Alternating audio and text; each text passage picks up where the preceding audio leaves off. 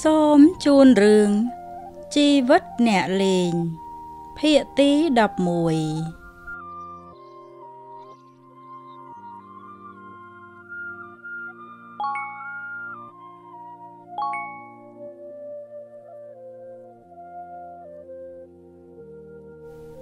វគ្គទី5សន្យាស្នេហ៍ស្នូសំលេងតខោត្របាញ់ សัตว์បាក់សាបាក់សីស្រែកច្រៀងរំពងព្រឹកព្រៃ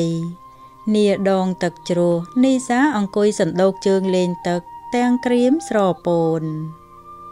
អ្នកស្រីបូផាអង្គុយលើកន្ទេលក្រោមដើមឈើមានរបស់ញ៉ាំជាច្រើន ចំណែកនូរាជួយរៀបចំរបស់ចុះទៅលើឡាន អ្នកស្រីបូផាញញឹមស្រស់វាចាអរគុណក្មួយនរៀនណា ដែលខំសុំច្បាប់មកកំដរមីងនិងនីសាអ្នកកំឡោះអង្គុយចុះក្បែរអ្នកស្រីបូផារួចវាចាតបខ្ញុំក៏អបសុកចង់កំសាន្តអារម្មណ៍ដែរមួយថ្ងៃមួយថ្ងៃគិតតែធ្វើការគ្មានពេលសម្រាកសោះចូលអ្នកមីងមិនក៏មិននៅលេងជាមួយនីសាឲ្យបានយូរជាងនេះខ្ញុំឃើញនីសាមិនសូវសប្បាយចិត្តសោះអ្នកស្រីបូផាបន់ធូដង្ហើមធំមើលទៅកូនស្រី មីងក៏ចង់នៅយូរដែរតែបងសាន់គាត់មិនស្រួលខ្លួន នៅទីនោះមើលការរកស៊ីតែម្នាក់ឯងទៀតទៅមីងត្រូវប្រញាប់ទៅជួយមើលគាត់វិញមកលើកនេះមីងចង់នាំនីសាទៅជាមួយតែនាងមិនព្រមអញ្ចឹងមានតែត្រឡប់ទៅវិញម្នាក់ឯងណូរាងួរក្បាលតិចតិចធម្មតាទេ ប្តីប្រពន្ធតែងតែត្រូវជួយមើលការខុសត្រូវគ្នា អ្នកស្រីបូផាមានមុខចំនួននៅបរទេសជាមួយប្តីក្រោយ ហើយលោកសាន់ក៏ស្រឡាញ់នីសាដោយកូនស្រីបង្កើតប៉ុន្តែនីសា នាងមិនចង់ចេញទៅរស់នៅបរទេសទេ ចំណែកអ្នកស្រីបូផាក៏មិនចង់បង្ខំចិត្តនាងដែរណាស៊ីក៏មកជាមួយនរាដែរនាងកំពុងចូលលេងទឹកយ៉ាងសប្បាយរីករាយ ថ្ងៃនេះទឹកជ្រោះមិនសូវមានមនុស្សមកលេងទេទើបមានសភាពស្ងាត់ជ្រងំគួរឲ្យចង់អង្គុយលេងយ៉ាងស្ងប់ស្ងាត់ណាស៊ីហែលទឹកមកក្បែរនីសាវាចាឯងគិតតែអង្គុយកោទឹកលេង មិនចុះមកហែលលេងទេខំធ្វើដំណើរមកពីឆ្ងាយមកកំសាន្តមិនមែនមកអង្គុយធ្វើមុខជូរដូច7បែបនេះទេនីសាក្របួចមាត់សំឡក់ណាស៊ីទាំងខ្នាញ់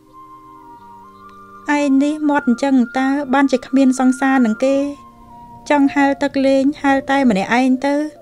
រងាសឹងស្លាប់គ្នាមិនចោះទេណាស៊ីលោកដៃក្តិចភ្លៅនីសា នាងក្រមុំស្រែកអូយអងអែលភ្លៅញាប់ស្អេកណាស៊ីអូដៃនីសាទម្លាក់ទឹក នាងក្រមុំទាំងពីរហែលប្រដេញគ្នាលេងដូចជាកូនក្មេងណូរីអស់សំណើចសើចម្នាក់ឯង គេមិនសូវដាល់ឃើញនីសាញញឹមទេទើបតែថ្ងៃនេះឃើញនាងសើចសប្បាយអ្នកទាំង4នៅលេងទាល់តែល្ងាចស្ងាត់ទើបនាំគ្នាបើកឡានរកសន្តាគារសម្រាកអ្នកស្រីបូផាសម្រានលក់ដោយអស់កម្លាំងចំណែកនីសាដេកមិនលក់ទេ នាងចេញមកដើរលេងតាមឆ្នេរខ្សាច់ពួកនាងមកសម្រាកនៅសន្តាគារជាប់សមុទ្រ ណាស៊ីនិងនរាកំពុងអង្គុយនិយាយគ្នា នៅក្នុងភោជនីយដ្ឋានសន្តាគារណាស៊ីលើកទឹកក្រូចផឹកបណ្ដើនិយាយបណ្ដើខ្ញុំមានភ័ស្តុតាងសម្រាប់ចាប់ក្រុមថកែចម្រើនហើយ តែពេលនេះថកែចម្រើនស្លាប់ដោយគ្មានមូលហេតុក្នុងក្រុមមានភាពរញ៉េរញ៉ៃណាស់នរៈកំពុងតែតាមស៊ើបរកអ្នកដែលសម្លាប់ថកែចម្រើន ខ្ញុំយល់ថាប្អូនប្រុសរបស់លោកនរាដូចជាផុងខ្លួនជ្រៅទៅជ្រៅទៅហើយខ្ញុំខ្លាចលោកមិនអាចប្រឈមមុខនឹងគេបានព្រោះខ្ញុំបានដំណឹងថាអតីតក្រោយ មានការប្រគល់តំណែងនៅកន្លែងពេជ្រនិចក្នុងព្រៃជ្រៅនរាបន់ធូដង្ហើមធំ ទឹកមុខខ្វល់ខ្វាយវាចាទាំងស្រងោតបើថ្ងៃនោះមកដល់ខ្ញុំក៏ត្រូវតែធ្វើ បើនរៈគេមិនព្រមដកខ្លួនទេខ្ញុំក៏ត្រូវតែចាប់គេក្នុងនាមជាប៉ូលីសទោះបីជាខ្ញុំមិនចង់ធ្វើក៏ដោយណាស៊ីញញឹមចុងមាត់មើលមុខនរាយ៉ាងមុតបើលោកធ្វើបានដោយសម្ដីខ្ញុំពិតជាកោតសរសើរណាស់ជាពិសេសថ្ងៃនោះមិនត្រឹមតែក្រុមនរៈបកុលទំនិញទេ ក្រុមថៅកែចម្រើនណាត់ជួបជាមួយក្រុមនរៈបកុលឯកសារមួយចំនួន ដែលតាក់ទងនឹងការរកស៊ីខុសច្បាប់របស់ពួកវាឬដូចជាបញ្ជីឈ្មោះអ្នកដែលពាក់ព័ន្ធនឹងរកស៊ីខុសច្បាប់ទាំងអស់បើពួកយើងបានបញ្ជីឈ្មោះ យើងពិតជាចាប់បានមេខ្លោងធំធំទាំងអស់ដោយស្រួលណូរីងក់ក្បាលតិចតិចពេលនេះចិត្តដល់ពេលដែលវិឆ័យទទួលទោសតាមច្បាប់ហើយ កិច្ចការលើកនេះមានតែណាស៊ីណូរីនិងថ្នាក់លើលើប៉ុណ្ណោះដែលដឹង ពួកគេរៀបចំផែនការយ៉ាងសម្ងាត់បំផុតសូម្បីតែថារុនក៏ណូរីមិនអោយដឹងដែរព្រោះណូរីសង្ស័យលើថារុនជាជនសម្ងាត់របស់វិឆ័យណាស៊ីលាននរាទៅសម្រាត្រៀមខ្លួនត្រឡប់ទៅចាត់ការរឿងក្រុមអ្នកលេងឲ្យឆាប់ចប់ ចំណែកនរាចេញមកស្រូបយកខ្យល់អាកាសដើម្បីរំសាយក្តីកង្វល់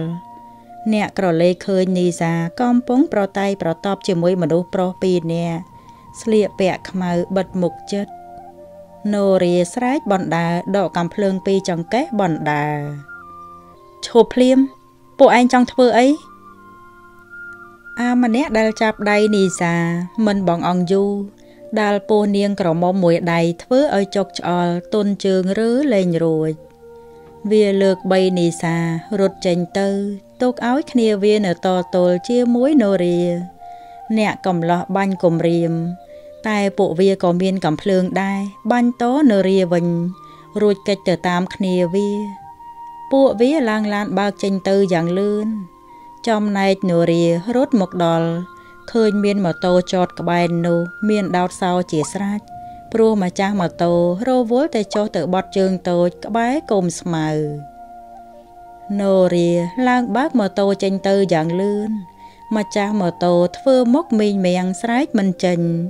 បានត្រឹមឈរធ្វើភ្នែកស្លើនរាបើកម៉ូតូដេញប្រកិត ពួកវាបាញ់រះមកលើអ្នកកំឡោះឥតប្រណីដៃ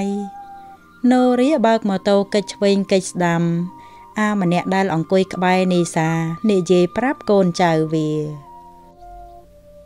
លោកថកែប្រាប់ថាឲ្យចាប់ទាំងរស់សិន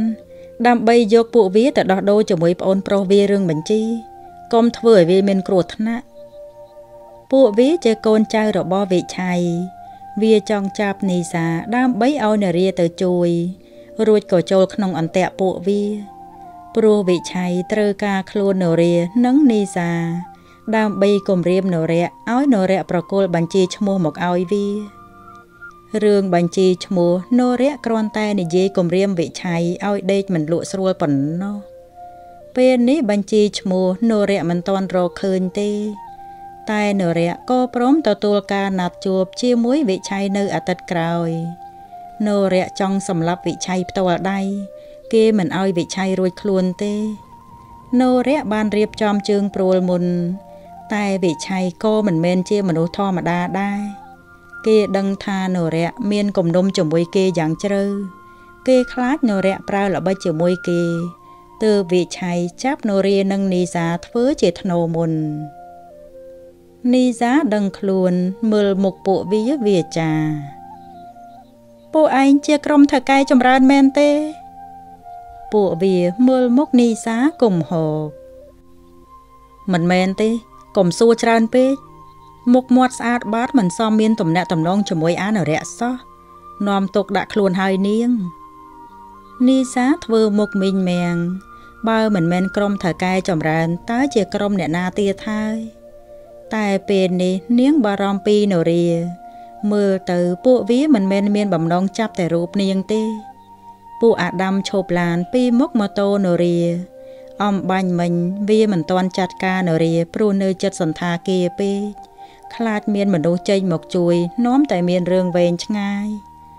ឥឡូវបើកមកដល់ផ្លូវស្ងាត់គ្មានមនុស្សឆ្លងកាត់ជុំវិញសុទ្ធតែដើមឈើក្រាស់ក្រាស់ងងឹតស្លុបគ្មានផ្ទះអ្នកភូមិនៅជាប់ផ្លូវទេ ណូរីឈប់ម៉ូតូមិនតាន់ដួលទៅម្ខាង ធ្វើឲ្យរលាត់ដៃជើង ដាច់ចេញឈាមដោយសារតែកោសនឹងថ្នល់ពូអាដាមពីរនាក់ចុះមកតម្រង់មានប់សង្ហាណូរាស្ទុះក្រោកឬកំភ្លើងបំរុងបាញ់តែកំភ្លើងអស់គ្រាប់ទៅហើយ ពេលនេះមានតែប្រើដៃជំនួសអ្នកកំឡោះទាត់សង្ខុញទៅលើពួកវាមួយរំពេចមិនរងចាំឱកាសទេ ពួកវាសុទ្ធតែជាអ្នកលេងមានស្នាដៃក្រាន់បើទើបអាចទប់ទល់ជាមួយនរាបាន អ្នកកំឡោះហត់បែកញើសសស្រាក់នីសានៅក្នុងឡានឃើញនរាដូចជាអស់កម្លាំងព្រោះដៃមានរបួសនាយដាំបំរុងចុះទៅជួយគ្នាវា តែត្រូវនីសាអុកមួយកែងចំចុងដង្ហើម ធ្វើឲ្យវាចុកអោពោះនីសានាងធ្លាប់ត្រូវពួកអ្នកលេងចាប់ម្ដងមកហើយ ទើបស្រស់ស្រីត្រូវតែប្រយ័ត្ននិងចេះក្បាច់ការពារខ្លះដើម្បីកុំឲ្យคล้ายជាកូនអុកសម្រាប់ពួកមនុស្សអាក្រក់នីសាកញ្ឆក់កំភ្លើងពីដៃអាដាមចុះទៅលើឡានរត់ទៅរកណូរីបងណូរីពួកនាយដាំរវល់តែងាកមើលទៅនីសាត្រូវនរាទាត់ដួលទៅម្ខាងអ្នកកំឡោះរត់មកចាប់ដៃនាងក្រមុំរត់កិច្ចយ៉ាងលឿន ពួកវាដកកំភ្លើងបាញ់រះមិនប្រណីខ្លាចនរានិងនីសារួចខ្លួននីសាហុចកំភ្លើងឲ្យនរា មាននប់សង្ហាបាញ់តវិញនរាអោបនីសាកិច្ចពួនក្រោយដើមឈើដោយក្តីបារម្ភពួកនាយដាំរត់ដេញប្រកិតបាញ់ដំរងនរានិងនីសាក្របកំភ្លើងត្រូវចំស្មានាងក្រមុំបាញ់ឈាមជោកអាវនរាស្រែកភ្លាត់មាត់ នីសាស្រស់ស្រីខាមាត់ក្រវីក្បាលមើលមកនរាខ្ញុំមិនអីទេតោះយើងទៅមុខទៀតនរាគ្រានីសារត់មិនដឹងជាដល់ណាទេ កាត់វាលចូលព្រៃកាត់ព្រៃចូលវាល ពួកនេដាមត្រូវក្របដែរទើបមិនតាមនរាបន្តទៀតនរានិងនីសារត់មកដល់ត្រង់ព្រៃឫស្សី មេចាប់ផ្ដើមមានភ្លេចបន្ទោផ្លឹបផ្លែតជាសញ្ញាបញ្ជាក់ថាចិត្តភ្លៀងនរាទប់ខ្លួននីសាឲ្យអង្គុយចុះសួរទាំងបារម្ភនីសាទ្រាំបានទេ ពេលនេះងងឹតខ្លាំងណាស់យើងមិនអាចរកផ្លូវត្រឡប់ទៅវិញបានឡើយឆោមល្អងួរក្បាលតិចតិចបបោមាត់ស្រីស្លេស្លាំងគ្មានឈាមមួយដំណក់ទេ តែនាងខំទ្រាំមិនធ្ងោមួយម៉ាត់ឡើយ ធ្វើឲ្យនារីអាណិតស្រីកាន់តែខ្លាំងឡើង នាងជាកូនស្រីអ្នកមានម្នាក់ដែរមិនធ្លាប់ទទួលភាពលំបាកពេលនេះបែរជាមកជួបរឿងគ្រោះថ្នាក់ដោយសារតែបងប្អូនអ្នកទៅវិញភ្លៀងចាប់ផ្ដើមណូរីនិងនីសាទៅទឹកជោកនីសាអោបដៃរងាញ័រមាត់ណូរីដោះអាវក្របឲ្យស្រស់ស្រី រួចក្រសោបកាយស្រីយ៉ាងណែនក្នុងរង្វង់ដៃដើម្បីបំបត្តិភាពរងា នីសាក៏អោបនរាវិញយ៉ាងណែនពេលនេះស្រស់ស្រីសន្លប់មិនដឹងខ្លួនផង ខ្លួនស្រីប្រែជាក្តៅដូចភ្លើងទៅវិញនរាលូកដៃច្បូតសក់ផាត់ចេញពីមុខនាងក្រមុំ រួចសម្លឹងភ័ក្រដែលស្លេស្លាំងពោពេញដោយក្តីអាណិតនីសាធ្ងររហឹមណាឈឺរបួសផង រងាផងខណៈនោះក្រុមនាយដាំនិងកូនចៅវាផ្សេងទៀត តាមមករកនរាឃើញល្មមពួកវាដឹងថានីសាត្រូវរបួសម្ដុំនេះគ្មានផ្ទះអ្នកស្រុកទេ ច្បាស់ជាមិនអាចរត់ទៅណារួចឡើយទើបពួកវានាំគ្នាមកតាមរកបន្តទៀតនាយដាំដកកំភ្លើងភ្ជុងក្បាលនរា វាសើចក្អាកក្អាយមិនមិនរត់ទៀតទៅអាប៉ូលីសគំរូពេលនេះអស់រត់ហើយមែនទេនរាមើលមុខនាយដាំយ៉ាងមុតពួកឯងជាអ្នកណា ហេតុអីក៏តាមចាប់ពួកយើងមិនបាច់ចង់ដឹងទេគ្រាន់តែដឹងថាឯងមានប្រយោជន៍សម្រាប់លោកថកែយើងនិយាយចប់នាយដាំឲ្យកូនចៅវាចាប់នរា និងនីសាចេញទៅពេលនេះនរាមិនអាចធ្វើអ្វីបាន ក្រៅពីព្រមទៅតាមពួកវា នៅឯសន្តាគារវិញ ណាស៊ីនិងអ្នកស្រីបុផាជ្រួលច្របល់រឿងបាត់ខ្លួននរានិងនីសា សាកសួរអ្នកនៅម្ដុំសន្តាគារគេប្រាប់ថាឃើញមនុស្ស3 4នាក់ចាប់ស្រីម្នាក់ហើយក៏មានបរិសម្នាក់តាមទៅជួយ តែមិនដឹងជាជួយបានឬអត់ណាស៊ីយល់ថារឿងនេះមិនស្រួលទេ នាងផ្ដាល់ដំណឹងឲ្យខាងស្នងការឲ្យត្រៀមកម្លាំងជាសម្ងាត់ចំណែកនាងជូនអ្នកស្រីបុផាត្រឡប់ទៅផ្ទះវិញសិន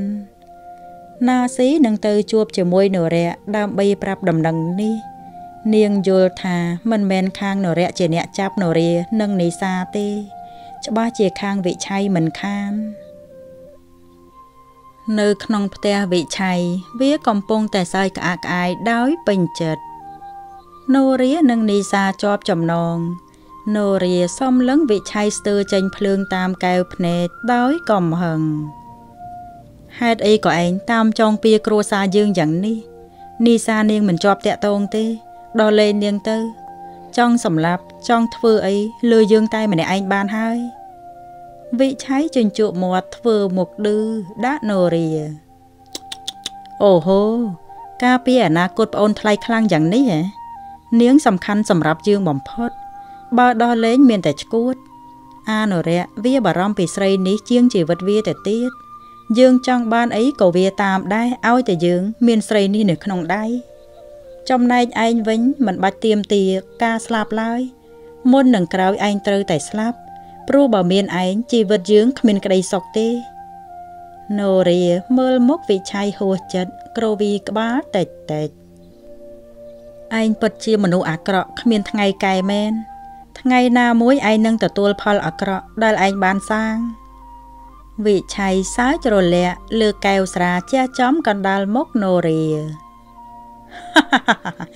តែមុននឹងដល់ថ្ងៃនោះឯងប្រហែលជាខ្លាយទៅជាធូលីហើយឯងគ្មានថ្ងៃបានឃើញយើងទទួលផលអាក្រក់ទេអាណូរី នេះជាលទ្ធផលដែលឯងមិនរណបយើង ចូលចិត្តប្រឆាំងអំពើអាក្រក់ណាស់មែនទេ ចង់ធ្វើជាប៉ូលីសគំរូហ៎ល្អចាំទៅធ្វើនៅឋានខ្មោចទៅ តែថ្ងៃនេះយើងសប្បាយចិត្ត ទុកឲ្យឯងរស់នៅបានយូរបន្តិចសិន ពេលណាយើងចាត់ការអនុរិយបានហើយ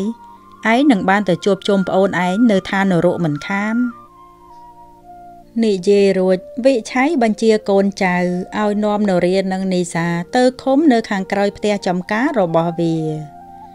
នីសាត្រូវបានរុំរបួសរួចរាល់ហើយវិឆ័យមិនទាន់ចង់ឲ្យនាងស្លាប់ទេ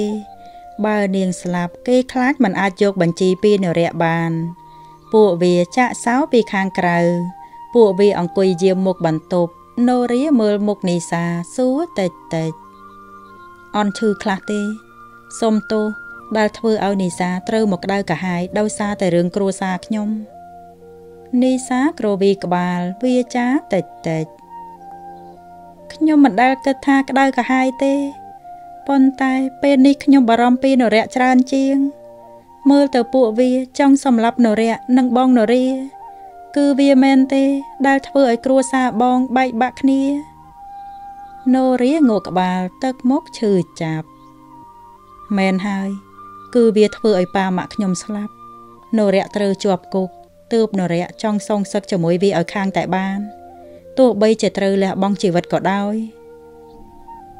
នីសាលោកដៃជាប់ចំណងចាប់ដៃនរាយ៉ាងណែន មើលមុខមេនប់សង្ហាយ៉ាងយូរ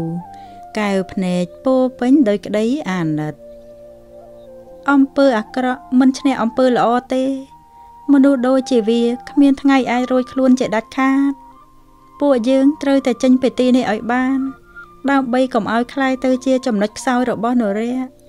បើវាមានយើងនៅក្នុងដៃ វាប្រកាសជាឈ្នះនរៈបានដោយងាយនរាងក់ក្បាលយល់ស្របបើមិនរកច្រកកិច្ចទេ គ្រប់យ៉ាងដែលខំរៀបចំនឹងត្រូវបរាជ័យតែកិច្ចយ៉ាងណា បើទីនេះបិទចិត្តទាំងអស់ហើយមានកូនចៅរបស់វិឆ័យនៅជុំចិត្តទៀតនរៈបានដំណឹងនេះពីណាស៊ីអ្នកប្រញាប់រកវិធីទៅរំដោះនរា និងនីសាភ្លាម អ្នកមិនអាចឲ្យវិឆ័យកាន់សัญลักษณ์បៀធំជាងអ្នកនោះទេយប់ជ្រៅកូនចៅវិឆ័យផឹកស្រាលេងបៀមុខបន្ទប់ខុំនរានិងនីសា ស្រមោលខ្មៅលោតចូលក្នុងរបងយ៉ាងលឿនដោយភ្លេចបន្ទោអាដាមក្រឡេកឃើញស្ទុះក្រោកដកកំភ្លើងពីចង្កេះដើរតម្រង់ដើមដូងស្រែកសួរអ្នកណាគេវើយឆាប់ចេញមកវាដើរមកអើតក្រោយដើមដូង ស្រាប់តែត្រូវមួយដៃសន្លប់បាត់មាត់ឈឹងគ្មានកំរើកនរៈប្រញាប់អូនាយដាំចោលក្បែរគុំផ្កានរៈធ្លាប់មកស៊ើបទីនេះជាច្រើនដងហើយដើម្បីរកភ័ស្តុតាងចាប់វិឆ័យតែគ្មានប្រយោជន៍សោះវិឆ័យជាមនុស្សល្អិតល្អន់មិនងាយចាប់កំហុសវាបានទេ តែនរៈក៏បានស្គាល់គ្រប់កន្លុកកន្លៀតផ្ទះនេះមិនចន្លោះដែរ ទើបអ្នកកំឡោះអាចរកកន្លែងឃុំនរា និងនីសាឃើញយ៉ាងស្រួល កូនចៅនាយដាំមិនឃើញនាយដាំមកវិញកូននាំគ្នាតាមមកមើលក៏ត្រូវនឹងកំបិតសម្ងាត់របស់នរាដួលដេកក្នុងថ្លុកជាមិនកំរើកសូម្បីតែបន្តិចនរៈប្រញាប់ទៅបើកសោទ្វារជួយនរាភ្លាមគ្រាន់តែឃើញនរៈនីសាវាចាទាំងរំភើបនរៈ អ្នកកំឡោះឃើញនីសាមានរបួសអ្នកស្លុតក្នុងចិត្តរោគថាមិនត្រូវនរៈស្រ័យចំណងឲ្យនីសានិងនរា នាងក្រមុំស្ទុះអោបនរៈយំតែម្ដងនរៈអង្អែលសក់ស្រីស្រស់វាចាលួងលោងកុំខ្លាចមិនអីទេតោះបញ្ញាប់ចេញពីទីនេះភ្លាមទៅនីសាជូតទឹកភ្នែកមើលមុខនរៈវាចាខ្ញុំមិនបានខ្លាចទេ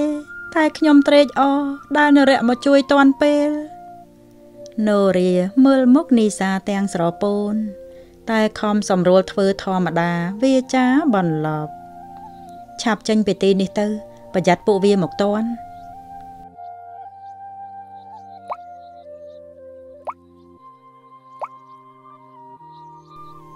ភាគទី11នៃរឿងជីវិតអ្នកលេងចប់តែត្រឹមប៉ុណ្ណេះ សូមប្រិយមិត្តអ្នកស្ដាប់ទាំងអស់រងចាំតាមដាន និងសន្ដាប់នៅភាគទី